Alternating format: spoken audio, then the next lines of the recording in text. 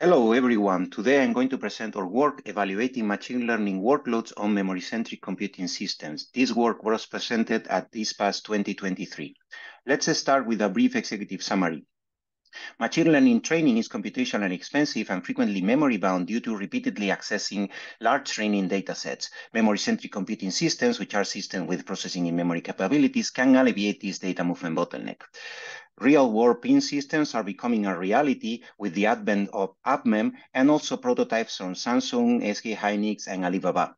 Our goal is to understand the potential of modern general-purpose processing in memory architectures to accelerate machine learning training. And our contributions are the PIM implementation of several classic machine learning algorithms, linear regression, logistic regression, decision tree, and k-means clustering, their workload characterization in terms of quality, performance, and scaling, and the comparison to their counterpart implementations on CPU and GPU.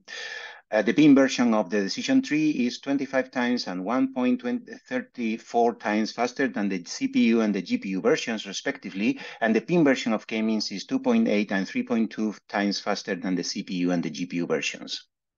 Our source code is publicly available, and we perform our experimental evaluation on a real-world processing in-memory system with more than 2,500 cores. Uh, outcomes of our work are key observations, takeaways, and recommendations for ML workloads on general-purpose PIM systems. This is the outline. We will first provide some background on machine learning workloads and processing in memory. Then we will discuss the PIM implementation of ML workloads. And finally, we will go to the evaluation. First, quality metrics, then analysis of PIM kernels, um, next, uh, performance scaling, and finally, the comparison to CPU and GPU. So let's start from the beginning. Machine learning training requires large amounts of data, and due to that, and because of the fact that it needs many um, iterations, is a computationally expensive process.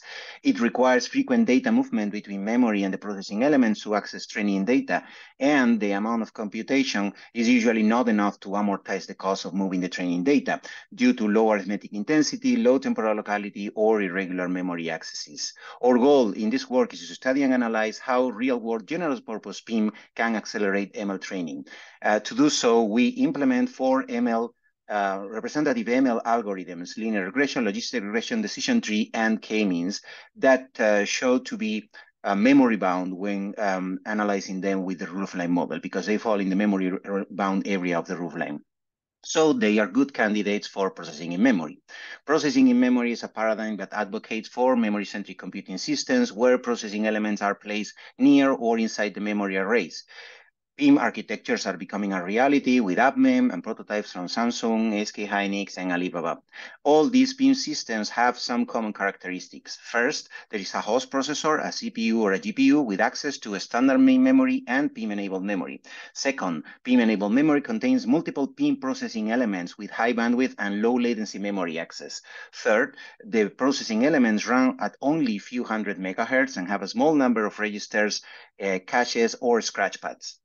And finally, the PMPs need to communicate or may need to communicate via the host processor. This is how a state-of-the-art PIM system looks. You can identify the standard main memory, the host processor, and the PIM-enabled memory, containing memory arrays and nearby PIM processing elements. In our work, we use the UpMem PIM architecture, where the processing elements are general-purpose processing cores called DRAM processing units or DPUs. They are fine-grained multi-thread cores that can run up to 24 PIM threads called tasklets, and they support 32-bit integer arithmetic, but multiplication and division are emulating, emulated as well as floating point operations. Each DPU has access to its own DRAM bank called MRAM and its own scratchpad called WRAM. This is how the uh, UpMem system with more than 2,500 DPUs looks like. This is the, the dual socket uh, host processor. These are the DRAM DIMMs, and these are the PIM-enabled DIMMs. So now let's discuss the PIM implementation of ML workloads. Um, remember that we are targeting four widely used machine learning workloads, and they are diverse in terms of uh, memory access patterns, operations and data types, and communication and synchronization needs. Let's start with uh, linear regression, which is a supervised learning algorithm where the output has a linear relation with the input. In our work, we use gradient descent as the optimization algorithm, and our PIM implementation basically divides the training's data set equally among PIM cores, and inside each PIM core, PIM threads compute dot products of row vectors and weights. The dot product result is compared to an observed value to generate a partial gradient value, and these partial gradient values are then reduced and sent to the host. We generate four versions of the linear regression. The first one uses training data sets of 32-bit floating point numbers. The second one uses fixed point representation. The third one uses hybrid precision from 8 bits to 32 bits. And the last one uses a custom multiplication that is based on the 8-bit built-in multiplication that the DPUs feature. Logistic regression is also a supervised learning algorithm used for classification. In our work, we use sigmoid as the activation function, and in our implementation, we basically do the same workload distribution and in, as uh, the linear regression implementation. We generate six versions of log, the first one uh, with 32-bit uh, floating point numbers and sigmoid is approximated with Taylor series. The second one uses fixed point representation. The third one replaces the approximation with Taylor series with a calculation using a lookup table. And this lookup table might be in MRAM, which is the DRAM bank, or WRAM, which is the scratchpad. And we also have a hybrid version, and we also have a version that uses the custom multiplication.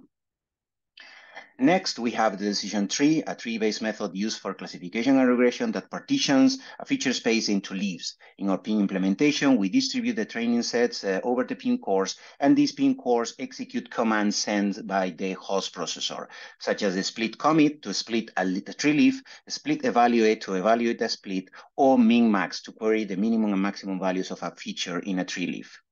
Uh, the data layout is especially important in this uh, workload um, and in the split commit, we mm, uh, write data in a way that we can maximize memory bandwidth with streaming memory accesses. And this way we can also enjoy in streaming, streaming memory accesses um, in the split evaluate operation.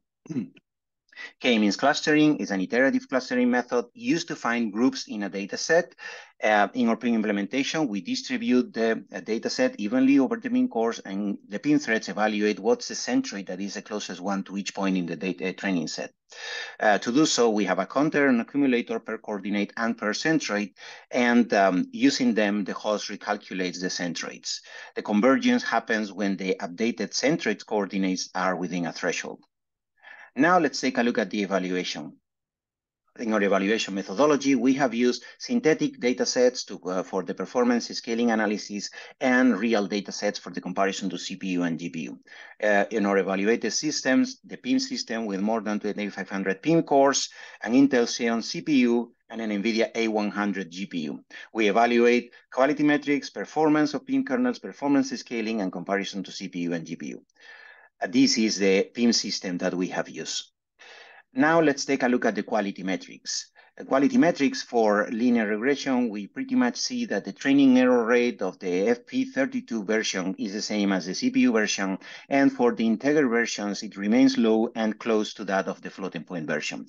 Similar trends we observe with linear regression. It is especially interesting that the LUT-based versions obtain lower training error rates than the versions that use approximation because the uh, LUTs uh, include, uh, contain exact values, Decision tree shows a training accuracy that is only slightly lower than that of the CPU version, and a similar thing we observe for k-means clustering for the quality metrics of k-means clustering. So in summary, we maintain the accuracy of all workloads or keep it close to that of the CPU baseline. Now let's take a look at the analysis of PIM kernels. First, linear regression. One observation is that all versions of linear regression saturate at 11 or more tasklets, and this is a number that is related to the number of pipeline stages of the PIM cores that we have used. We will go back to this uh, observation later. Uh, we can also observe that the fixed point representation accelerates the kernel by an order of magnitude over the FP32 version. And this is because FP32 is not natively supported. And as a result, and this is our first key takeaway, workloads with arithmetic operations or data type that are not natively supported by the PIM cores run at low performance due to the instruction emulation. So our recommendation is that whenever possible, and if there is not much accuracy loss, we should use fixed point representation if floating point is not supported.